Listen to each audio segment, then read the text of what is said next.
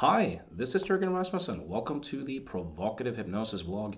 As you know, on occasion, I like to make videos where I offer critiques of the teachings of people who have influenced me a lot in terms of how I see clients. So in this particular episode, I'm going to look at the work of Herbert and David Spiegel, two hypnosis pioneers who have influenced my work a lot and who have had quite a bit of influence on many people throughout the world. I'm going to look at what I perceive to be the strengths and their weaknesses of their claims, uh, of their teachings, my experiences with it, my, my clients' experiences with it. Um, and um, I, I, hope this might inspire and spark some discussion.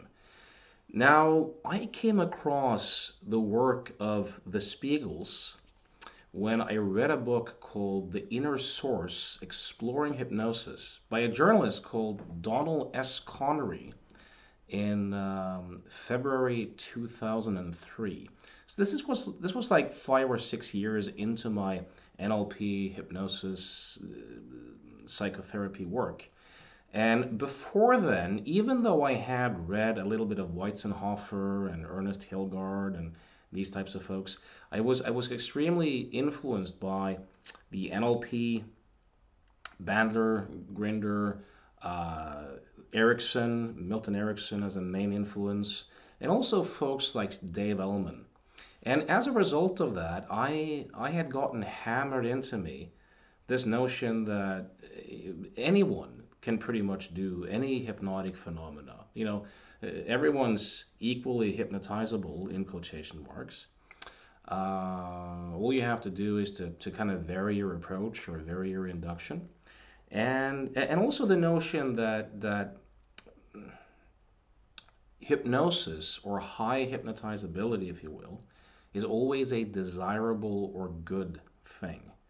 Because if you read a lot of the, especially the NLP literature, but, but a lot of uh, Erickson's work as well, you, you, you, you will see that there's an emphasis on if you can get, you know, deep trance, that seems to almost always be a good thing. So I was I was under this belief.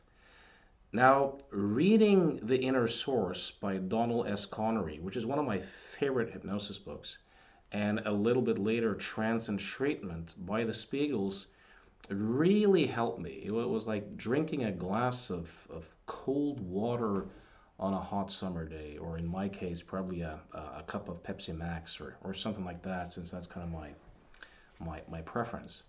Um, the first thing that struck me was in their approach was a pragmatism, very much a pragmatism, as as they themselves say, a kind of respectful, impatience of saying to their clients, look, you have the answers, get going, don't, rest- don't depend on me.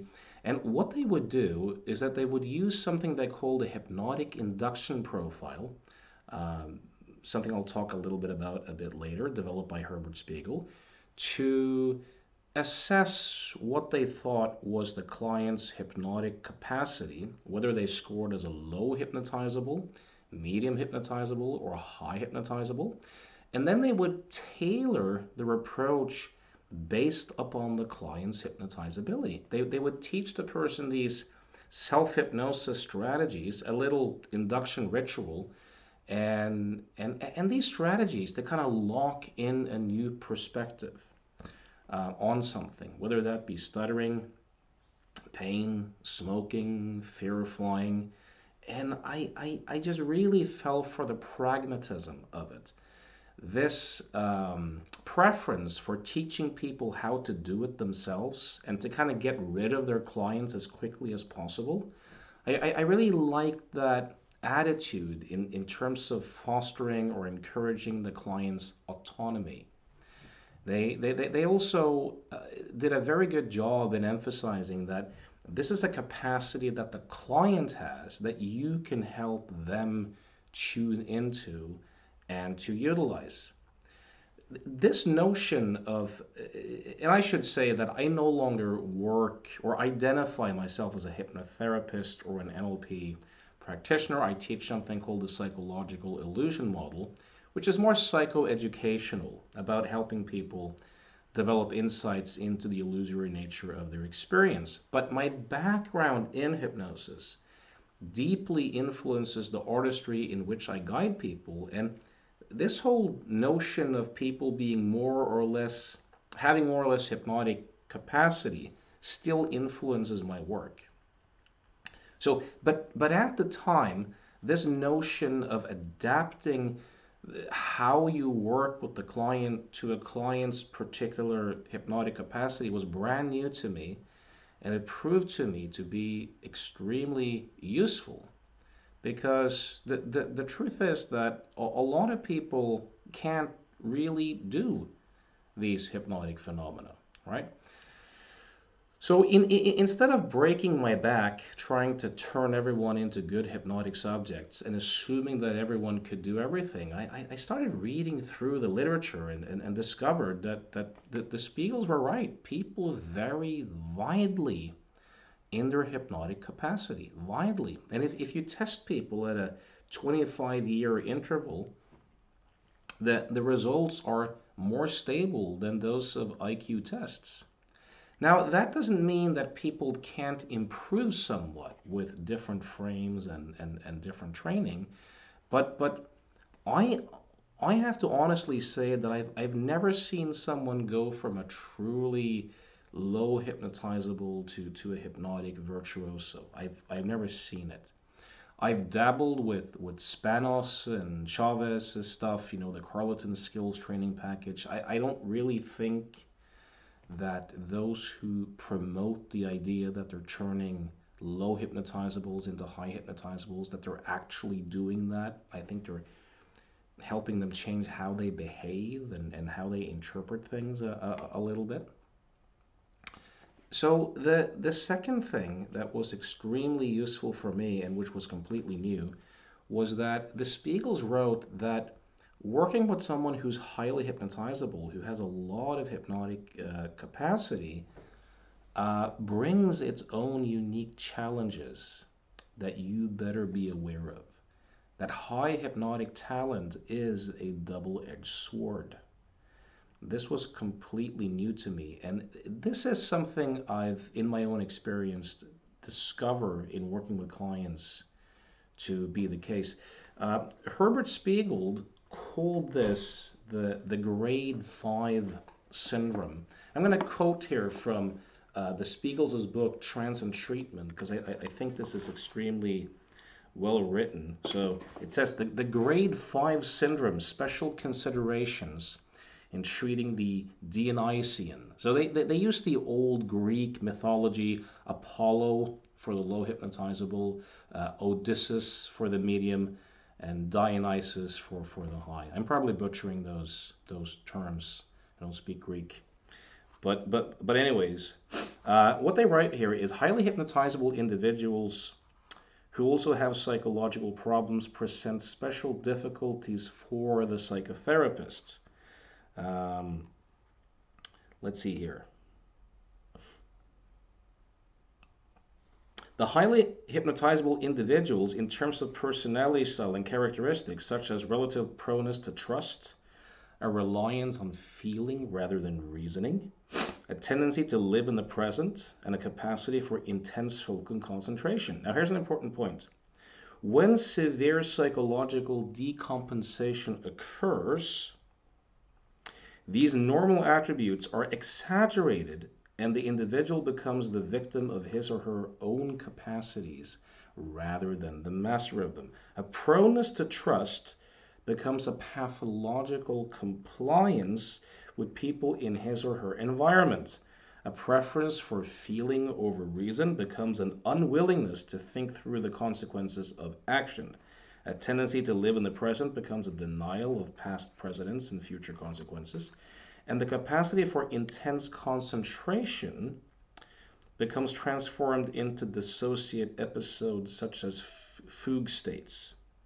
These patients, when stressed, often present with hysterical symptoms, conversion reactions, dissociative episodes, or interpersonal difficulties, including classical hysterical sexualizing of the non sexual and desexualizing of the sexual in relationships. So, to to be very practical, um, as Dabney Ewin, uh, a also kind of well-known um, medical doctor who's a hypnotherapist, wrote, uh, it, it's the highly hypnotizables who often make dramatic initial uh, changes who return to the hospital again and again. The results with these folks can very often become easy, easy come, easy go, meaning they're they're kind of compulsively responding to suggestion. They're, they're, they're not necessarily making any discoveries or learning anything new. So they, they might very willingly get absorbed into a new suggested reality but as soon as they meet their regular pals, or they go to their doctor, or they go to some other context where they're given different cues on how to behave or see the world, it might very easily be as if you never actually worked with that person to begin with. So the irony is that it, it can be very tempting to just do hypnosis with these people and give them suggestions and kind of utilize that high hypnotic capacity. But but very often you're you're better served with helping them to facilitate more internal autonomy, more of a sense of choice coming out of hypnosis, so to speak, and using a bit more of, of their reasoning. Uh, the, the, the highly hypnotizable are also way more likely. So before I say that, I'll, I'll give you a, um, an example I work with of, of, of a young man uh, called Richard, who was very highly hypnotizable. And I did a first session with him for his allergies, and they went away. And this, then his uncle brought him back and, and, and kind of said there's no change and this and that. And, and his mother to me, I, I spoke to his mother, and, and, and the mother seemed extremely dominant and controlling. And she she would give him these suggestions that people in our family are allergic and Richard how are your allergies today and when she asked those questions he would comply by actually developing the symptoms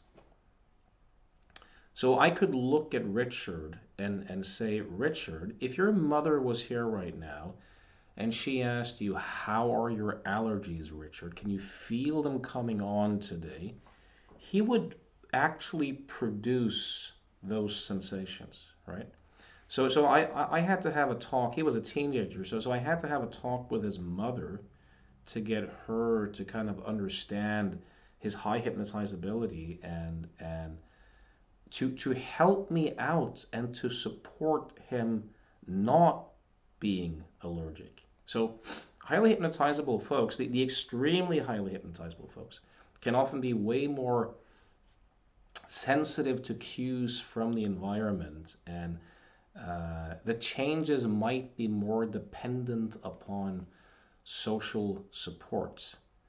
Um, they, they, they also, these highly hypnotizables, it's really fascinating. They, they, they often have very little uh, curiosity about how these things work. They don't necessarily ask the why questions. It's just more what and action oriented.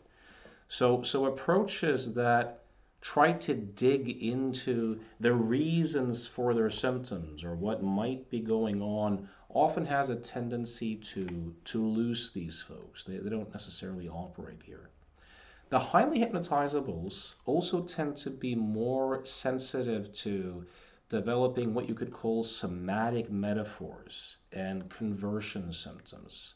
So these, the, the, these, these are kind of weird symptoms where people don't necessarily have any pathology, but they kind of somaticize uh, interpersonal or, or internal conflicts that they have. So that they might have non-epileptic seizures, for example, or, or weird form of paralysis, or uh, pains or symptoms that seem very symbolic uh, in a sense. So they, they seem to be overrepresented on conversion disorders, somatic metaphors, um, anything to do with, with, with dissociating, the, the dissociative type type symptoms. Um, and Spiegel, uh, the the Spiegels did something else that was interesting. They they they kind of had this theory about how our personalities um, influenced strongly our hypnotic capacity, and they, and, and they had this this little interview that they would do with clients, and I'll, I'll go through it with you right now, and, and, and just offer what what my observations are. So let's see here.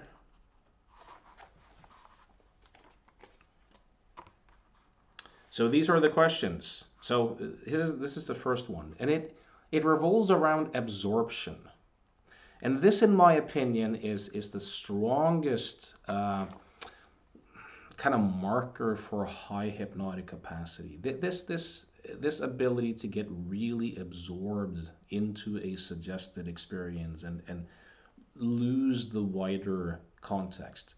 Some people are really good at this. Some people are not very good at this uh, at all. Now, here's the thing. If someone scores high on absorption or they're really good at absorption, um, there's a good possibility that they will also be a great hypnotic subject, but there's no guarantee. But if someone is not at all good at absorption, it's an extremely slim chance that they will turn out to be a a good hypnotic subject. So, so this is the question. As you concentrate on watching a movie or a play, do you get so absorbed into what is going on that you lose awareness of where you are? If so, do you ever get so absorbed that when the curtain comes down, you're surprised to realize you are sitting in the theater? So the the, the very highly hypnotizable folks are the ones who will say yes to that final one. Like they, they get so absorbed into the movie or the book or the play that when the curtain comes down, they're, they're, they need some time to kind of re, reorganize and realize that they're actually sitting in the theater. Uh, the, the, the ones who are on the low hypnotic scale will usually are, are more often people who say no I, I don't really get absorbed into movies um, I, I, I don't get lost in daydreams. Uh, I, I never cry when I read a book or watch a good movie, or I, I, I don't get really touched, emotionally engaged. Like they're always kind of aware of the periphery of, of, of what's going on. And, and then the medium hypnotizable ones are, are kind of somewhere in between, right? So in my experience, this, this absorption capacity is it's not a guarantee that someone's highly highly hypnotizable, but it, it, it's a it's a it's it's it's the best indicator. Uh, the the second one is in general, as you perceive time, do you focus more of your attention upon the past, present, or future, or all three equally? Now, the highly hypnotizable folks have a tendency to very much live in the present. They, they, they prioritize action and experience over philosophy and, and kind of thinking about things. Whereas the low hypnotizables tend to do a lot of planning or you know for the future or kind of reflection and rumination about the past. They're, they're, they're more stuck in their head uh, that sort of stuff. And, and, and then the mediums are kind of in between. I found this one too to be quite reliable quite reliable even though this is something that seems very modifiable, meaning uh, I've had tons of clients who have been riddled with internal dialogue and rumination and worry, who, have been able to more or less turn that off. So uh, this is something that people can can um, strongly um, influence with some skill and and with some training. But it is, in my experience, usually correct that, that the, the, the people who are low on the hypnotic scale, in addition to, to, to not getting that absorbed into movies and daydreams and books and suggested ideas, Uh, they, they have a tendency to be more lost in thought and planning for the future and f- reflecting upon the past. And the, the high hip, hypnotizables do less of that. Uh, let's see. Third one, the French philosopher Pascal once said the heart has a mind which the brain does not understand. He said there are two kinds of mind, the heart mind and the brain mind. As you know yourself, which of these two minds do you give priority to? So the theory here is that the highly hypnotizable ones tend to be more feeling oriented. Uh, the low hypnotizables tend to be more reason oriented. They want to understand, they want to analyze, they want to use their logic. Whereas the highly hypnotizables are more feeling oriented. And the mid range folks are kind of more of a you know balanced blend. I found this to be more accurate than not, even though to me it seems less strong as an indicator than than the Spiegel's right, even though it seems for the most part to be very accurate with the highly hypnotizable folks. But I have met people who are very feeling oriented, who are not necessarily good hypnotic subjects at all, and I've met people who are very analytical, who um, who have been excellent uh, hypnotic subjects. So one great example of this is uh, the neuroscientist, philosopher, and meditation teacher Sam Harris, who, if if you ever read his books or heard his talks, you know he he seems very much uh, his personality seems very much to to match onto what Spiegel would describe as Apollo, you know, reason, understanding, logic, facts, evidence. Uh, but according to Sam, he scores as a very highly hypnotizable on the Stanford scales, which is a different uh, metric than the HIP or the hypnotic induction uh, profile. But but they, they the results kind of overlap. So so that is interesting. So in, in, in terms of this, you know, I'll, I'll give you three examples of highly hypnotizable people who you may have heard of if you're into this field. Or let me hold off on that uh, until I've gone through the list. Okay. So, uh, number four, as you relate to another person, do you prefer to control the interaction or you prefer to let the other person take over if she, he, or she wishes? Now, the theory here again is that the highly hypnotizable person is more likely to let other people kind of call the shots, and that the low hypnotizables more want to be in charge.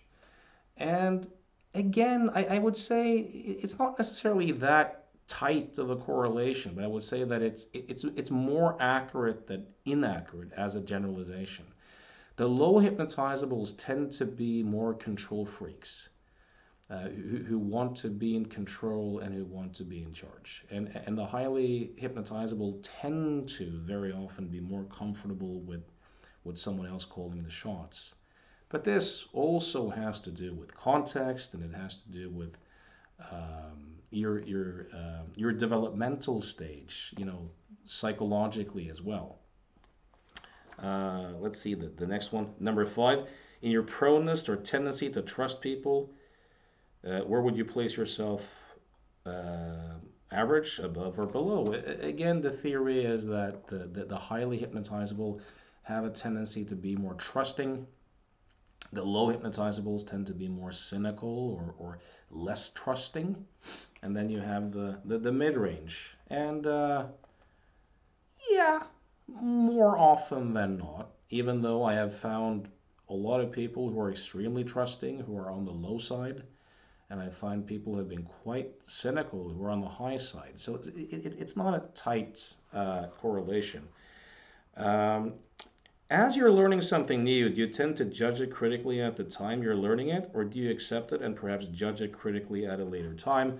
Again, here the high hypnotizables would be more likely to, to, to kind of just go into it with a know nothing state and absorb it, and then perhaps critically evaluate later, if at all versus the low who's who, who's more tentative and more analytical and, and and and more skeptical in a sense even though a lot of psychological research tends to point in the direction that our brains are belief engines.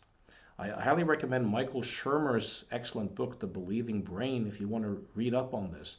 You know, that we, we kind of start by believing, and then we use our reasoning skills and intelligence more like a lawyer or press secretary after the fact to kind of justify and make and find evidence for that which we already believe. So it seems like most of our brains kind of work that way, anyways. Um, seven, as you sense your responsibility for what you do, where do you place yourself on a scale of average, above, or below? Again, the highs here would be less responsible, the, the lows would be more responsible. I find this one to be kind of dubious. I, I, I found too many exceptions uh, to this one. And of course, it also has to do with, with, with your general psychological development. Um, let's see. If you're learning something new and you know in advance that it is of such a nature that you can learn it clearly, safely, and equally well by either seeing it or touching it, which would you prefer to see it or to touch it? The theory here is that the uh, the high hypnotizables would like to feel it and really get into it, whereas the, the lows would like to more look at it from a distance, more analytically. Seems to hold up, more or less. And nine, when you come up with a new idea, there are two parts to it. One is to dream it up, and the other is to figure out how to do it. Of these two parts, which gives you a greater sense of fulfillment? Again, this one seems pretty accurate. You can probably guess which of them is the high and which of them is the low. And finally, 10, as you come up with or work out a new idea, is it necessary to write notes or do you feel your way through without writing? Um, this one's not as strong, in my opinion. I've found quite a few high hypnotizables who, who like to take their notes, um, and also lows who don't. But again, I would say once again that it's it's more accurate than not accurate. That it's more likely that the low hypnotizable will want to write notes, you know, of what you say. And the high hypnotizable is more likely to just go along with it and and be willing to have an experience. Now, when I first read Spiegel's work, I, I was so excited because I thought, man, they've really mapped out personality and hypnotizability. And and then as I did more work, I I, I, I kind of realized that th- these correlations are way weaker than I thought, and and there are way too many counterexamples. So I'll, I'll give you a, uh, as I promised previously. Here are three people you may know about if you watch my videos: Richard Bandler, the NLP co-founder; Stephen Gilligan, the psychologist slash uh, hypnotherapist; and the neuroscientist and philosopher Sam Harris. These guys all score as very highly hypnotizable people. But if you look at their personalities, extremely different. Now, I don't really know any of them personally. Sam, I have never met. I've just read his books. Gilligan, I've trained with a few times, same with Bandler, but I don't have a personal relationship to, to any of them. But if if you look at Bandler's personality, the, the, the kind of reckless, impulsive, uh, you know, types of behaviors, sure, getting highly absorbed into experiences and that sort of stuff, yes, seems very, very accurate. But as a personality, is, is he much of a follower? Probably not he seems quite self-sufficient and quite uh, willing to take charge. He seems quite controlling. He seems very direct. He seems very blunt.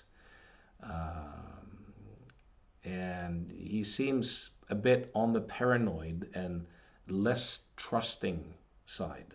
Uh, he seems kind of psychopathic to, to some extent, you know, just as his basic personality tendencies, which, according to Spiegel, people who have psychopathic tendencies to tend to not be hypnotizable, and, and people who who um, are paranoid, of course, won't really. But but Bandler here seems to be a, an, an, exception. Uh, if if you look at again a guy like Sam Harris and his writings, you, you, you see that he very strongly emphasizes reason, understanding, logic, science, thinking things through.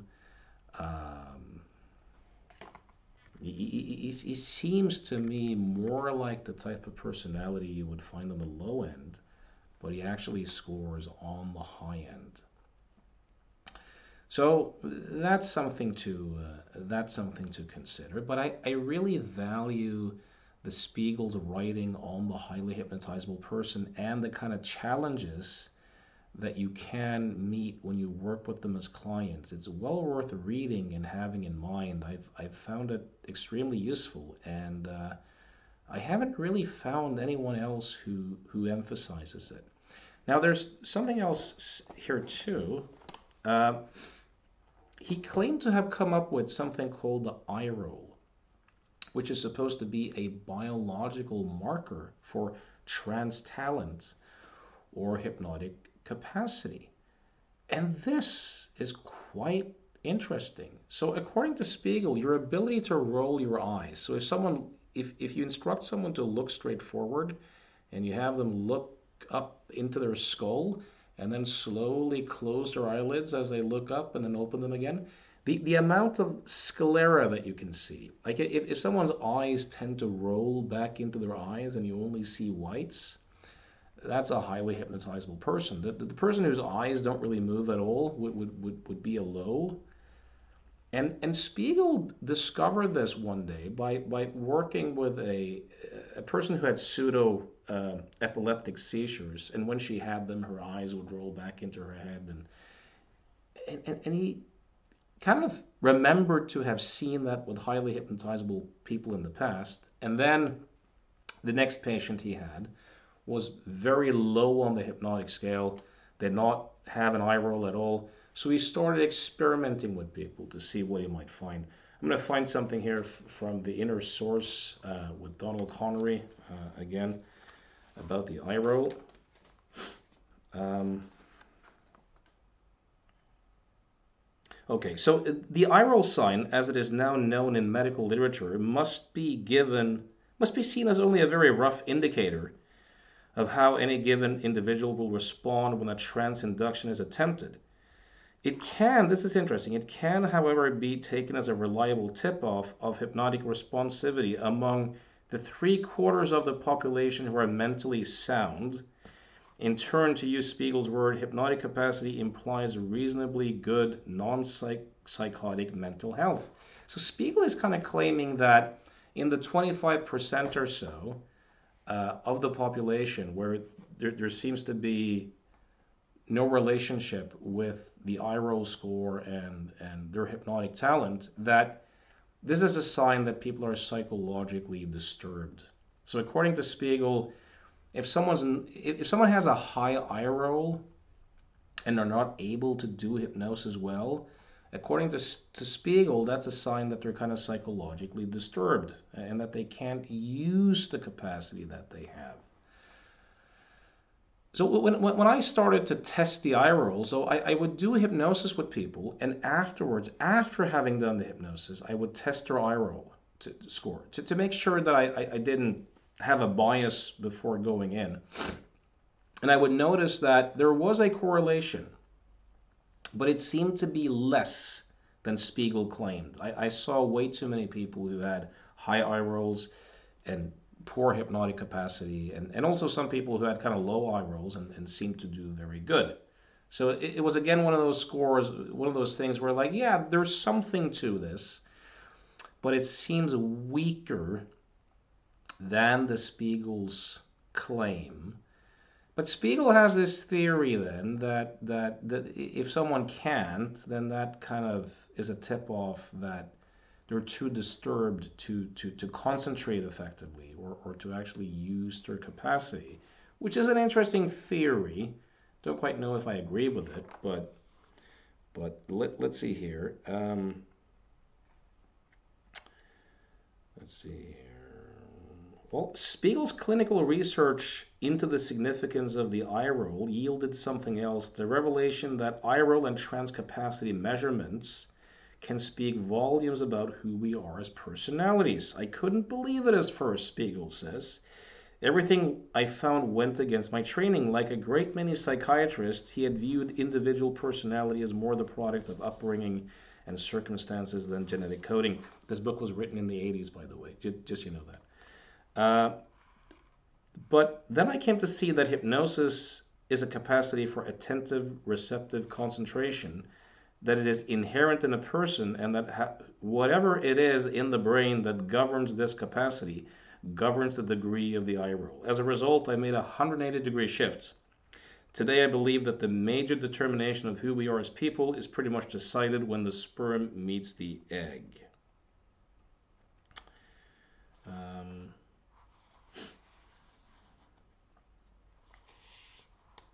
there, there's a really interesting uh, story here too about David, his son, initially being skeptical about the eye roll and then being at some sort of medical conference.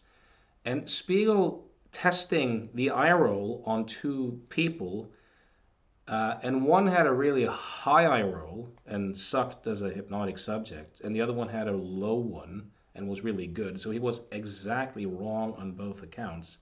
But then he asked the person with the low eye roll, Have you had eye surgery? And the answer was yes. They, they had, so, so that had taken away the, the ability of the eye roll.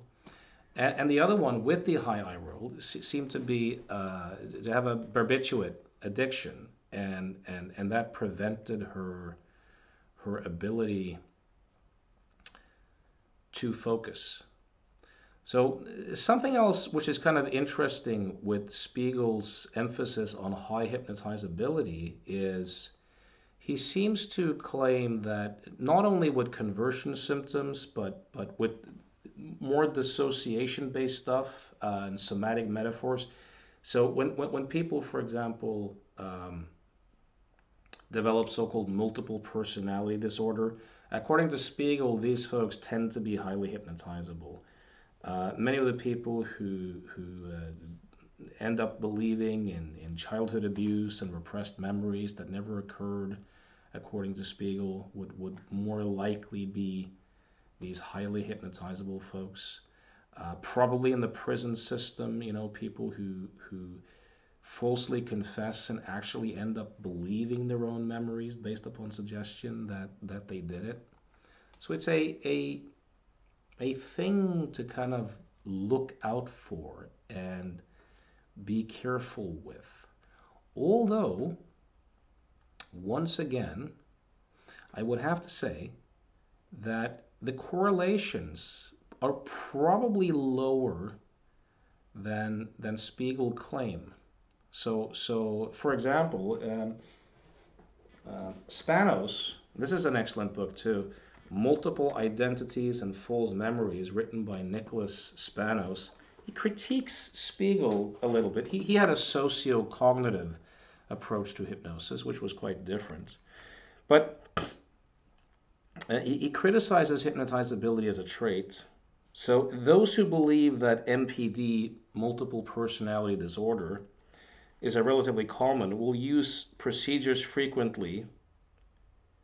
Uh, well, uh, this, this stable trait hypothesis cannot account parsimoniously for the very high rates of multiple uh, identity enactments seen in some traditional cultures.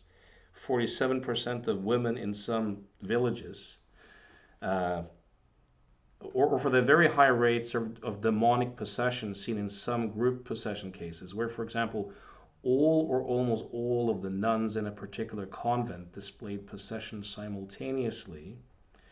The hypothesis also has difficulty with the finding that glossolalics do not uniformly exhibit high hypnotizability uh, that in some congregations glossolalia occurs in all or almost all members, and that people who report contact with UFO aliens do not score particularly high on measures of hypnotizability. So remember that Spiegel would claim that high hypnotizability, the very high, the grade 5 syndrome is like 5% of the population. Maybe 10% can score as high. So when you look at like mass hysterics uh, symptoms or You, you look at things like, for example, the, uh, the, the Havana syndrome, the, the workers at the US Embassy in Cuba who started getting all these weird symptoms, and then Americans and other embassies in other countries started getting uh, similar type of symptoms. Um, if you look at these cases of like mass hysterical symptoms, um, it it would tend to presuppose that there are there are way more people than five percent who who fall prey for this type of stuff. And I've also worked with people who have had very weird symptoms who, who do not seem to have good hypnotic capacity. So just like as David Spiegel has pointed out, if you look at placebo research with low hypnotizables who are given a placebo for pain, it seems to be equal to the placebo. For high hypnotizables, hypnosis seemed to work better. So whatever mechanisms are involved in in uh, placebo, there seems to be different neurological mechanisms involved in hypnosis. So so there might be different avenues or different ways of, of, of developing these symptoms, some which may correspond with high hypnotizability and some which may not. I should also say this when, when Spiegel does the hypnotic induction profile, which are some questions, the eye roll, uh, arm levitation, uh, where you kind of test for uh, that experience of non volition, the arm is just lifting by itself, right? And uh, post hypnotic suggestion, and you might test for amnesia and hallucinations.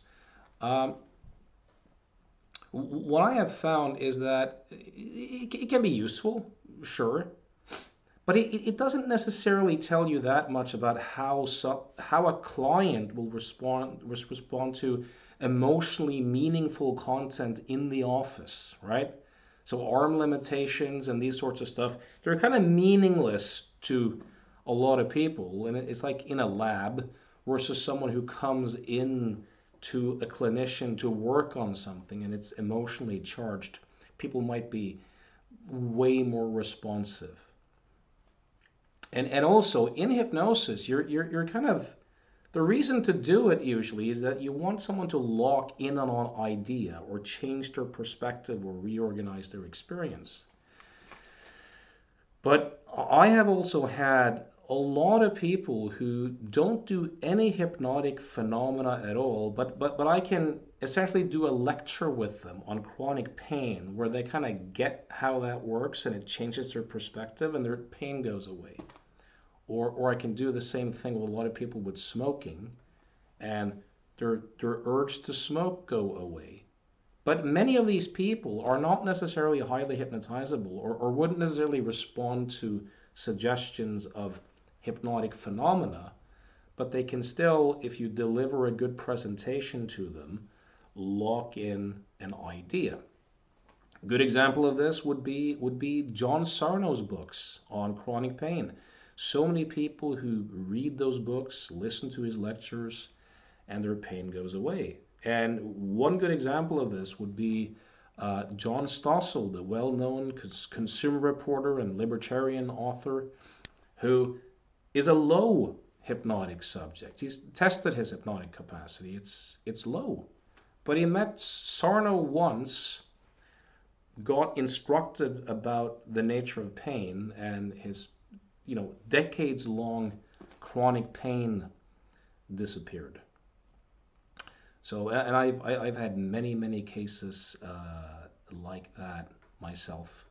And of course, David Spiegel is doing some very interesting uh, stuff at Stanford, um, trying to look for the neural correlates of hypnosis, some of which he has claimed to find. And you have the famous believing is seeing uh, experiment, where you have high hypnotizable hallucinate color where there's black and white, and you see that their color processing areas in, in both hemispheres light up. And this does not happen with the low hypnotizables when they're asked to imagine. Um, so, so, so it does show that, that high hypnotizability and low hypnotizability is not just role enactment, but it actually looks quite different in the brain. So I, I hope this was useful to you, interesting. I'd love to hear your take on the Spiegel's um, approach. Know, by the way, that David Spiegel, the psychiatrist, is not the same David Spiegel, the psychiatrist who testified in the Amber Heard uh, Johnny Depp case. It's it's it's a very different uh, David Spiegel.